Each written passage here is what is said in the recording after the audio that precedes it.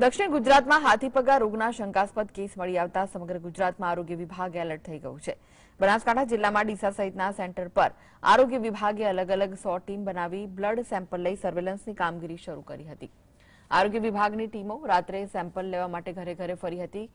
Collector કરેલા blood સેમ્પલને તપાસ માટે, કલેક્ટ કરેલા બ્લડ સેમ્પલને તપાસ માટે લેબમાં મોકલી દેવાયા. સાથે આરોગ્ય અધિકારીઓએ લોકોને સાવચેતી રાખવા અપીલ કરી.